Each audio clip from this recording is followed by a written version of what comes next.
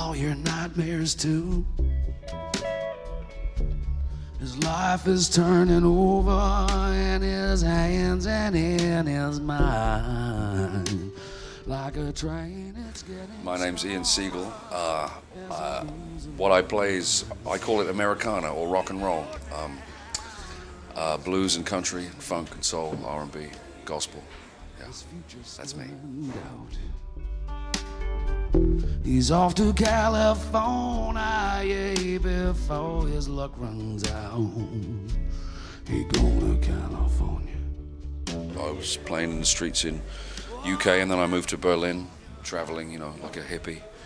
And uh, I played in the streets. And uh, I improved. I mean, I learned everything really fast because I had to. I was living, you know, hand to mouth. So uh, if I didn't make money, I didn't eat. So uh, yeah, I uh, yeah, uh, it's a good education playing in the streets. I tell you that. You learn quickly. Two buttons left on my shirt. I'm feeling the heat and I'm dealing the hurt. The walls closing in and the sky's all turning black. I can see from I, I've definitely improved, thank God. You know, I mean, I'm, not not that I'm ashamed of my earlier stuff, but I definitely got better as a writer, which you know you, you should. You know, it's just you, you should improve as a musician and, and a writer as an artist. In what So, way? but but but or just just better.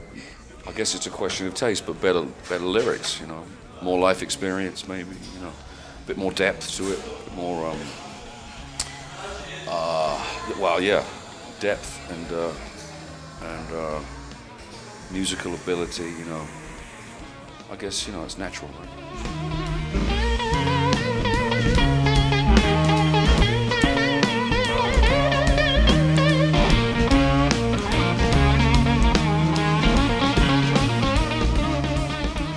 I mean, I get called a blues player because I guess I'm I work on a, more of a blues circuit, but I don't really play much blues. I mean, if you look listen to my songs, there's there's you know, might be one or two actual blues songs. It's blues influenced, of course.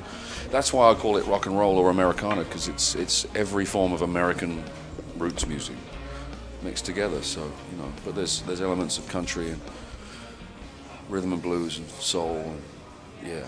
I mean, and my influences are from all those people. I, I'm, you know, I listen to Muddy Waters, but I also listen to Kris Kristofferson, and uh, you know, and Hank Williams. You know, so it's a big mishmash. That's which is that's what rock and roll is, right? It's a big mix of all those things all together.